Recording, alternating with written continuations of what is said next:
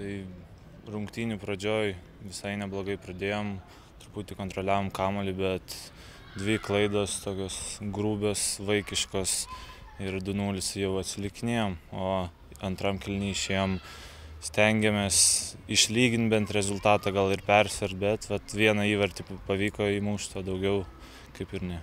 Ką pertraukos metu galbūt pasakė treneris, ar ką patys pakeitėt, kad na, visai kitas vaizdas, sakykime, antroje rungtynių dalyje buvo? Nu, mūsų komandos kapitonas e, pasakė, kad tiek kilometrų važiavom iki telšių, kad atvažiuoti pralaimėti, tai tikrai yra gaila, kad reikia jau išeiti ir paskutinės 45 minutės atžaisti iki galo ir kad jau su kitom nuotaikom važiuoti namo.